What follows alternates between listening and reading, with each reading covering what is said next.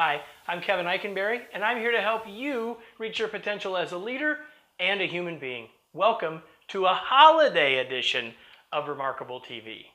Today, a scary subject conflict. And today we're going to talk about three things you can do to overcome any conflict. Are you ready? It's Halloween week, and what better to talk about on Halloween week than conflict?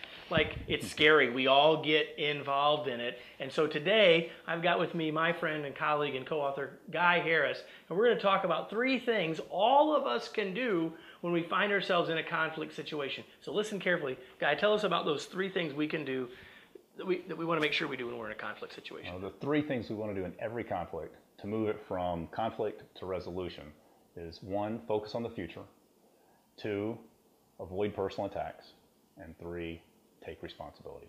Those are the three bottom line ideas. Okay, so let's talk about each of them just a little bit. So, first one, uh, focus on the future. What do you mean by that? I mean, the conflict is happening because it's something that we did in the past. So, like, tell me what you mean by that. Exactly. So one of the challenges is that if we talk too much about the past and stay in it, we shift into blame and criticism and condemnation, all kinds of things that just escalate the conflict.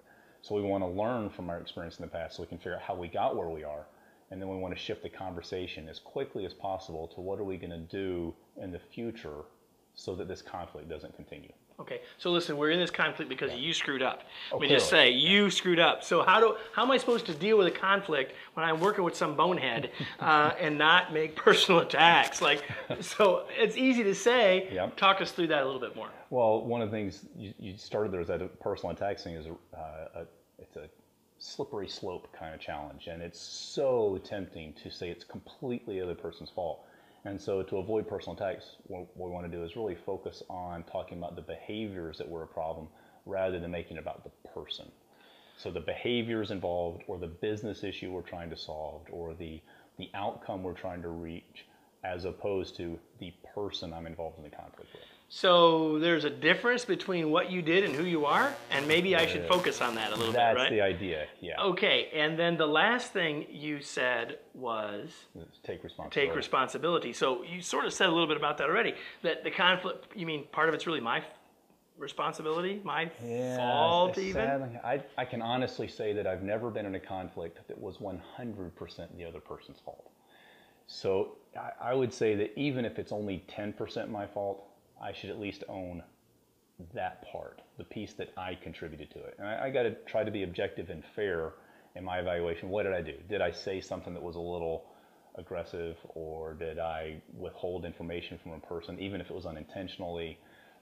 I got to own what I did in order to get out of that blame cycle and go to the future. Well, even if what I said, even if even if you misinterpreted what I said, it's still what I said. Exactly, So I still right, need to right. own at least at an absolute minimum that. Odds are, most of the time, we need to own more than ten percent. Probably true. To Yeah, your that's point. probably true. So uh, this, I, want to close with today's tweet. First of all, I want to wish everyone a happy Halloween. But I want to close with today's tweet that's only about part of what we talked about, but it, it, it, it goes back to the first thing you said. I think it's mm-hmm. really important to leave us with. It'll help you get past some of the scariness of your conflict. And here is today's Halloween week tweet. When resolving conflicts, learn from, but don't live in, the past. Conflict is hard, but you already know that. The reason I had Guy join me today is because he is a true certified expert in conflict resolution. But we all know that we want more than just resolution. We want to be able to resolve conflict with confidence, which is why Guy has created the workshop, Conflict Confidence. In this two day workshop, Guy can help you overcome your challenges, provide you with hundreds of practical strategies, and get you to the place where you can resolve conflict successfully and confidently. I hope that you will want to join Guy for an upcoming workshop where he will lead you through this ex- experiential learning experience. You can learn more about joining us in a future workshop or having Guy come on site to work with you by clicking on the links below.